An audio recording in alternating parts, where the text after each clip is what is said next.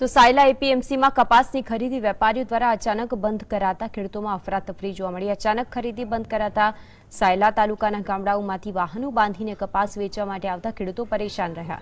ત્યારે આ અંગે એપીએમસીના સેક્રેટરીને પૂછવામાં આવતા તે ઉડાઉ જવાબ આપ્યો અને કહ્યું કે વેપારીઓ પાસે માલનો ભરાવ વધી ગયું છે, તેમજ વેપારીઓએ જે માલની ખરીદી કરી છે તેને ચીનમાં મોકલ્યો છે. ત્યારે ત્યાં ગાડીઓ ખાલી ન થતાં વેપારીઓએ કપાસની ખરીદી બંધ કરી છે.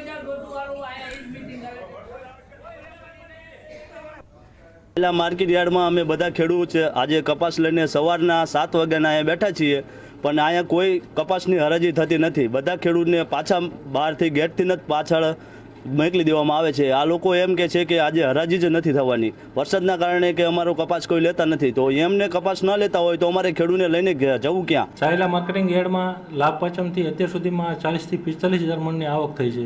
જેના અનુસંધાને વેપારીઓને ફૂલ માલનો ભરાવો છે. ગઈકાલે સાંજે ફૂલ સારો વરસાદ થયો હતો. એની કારણે વેપારીઓનો માલનો ભરાવો છે, જીન ઓલરેડી બંધ છે.